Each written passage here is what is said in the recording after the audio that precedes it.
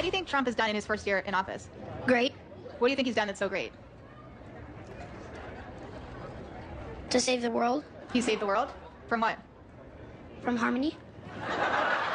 What's the first thing you think of when I say Donald Trump? Small fingers and orange face. What's the worst thing he's done? Um, uh, I think he needs to stop threatening uh, North Korea Why? Because I don't want to get nuked. What's the first thing you think of when you hear Donald Trump? Um, pictures Pictures of what?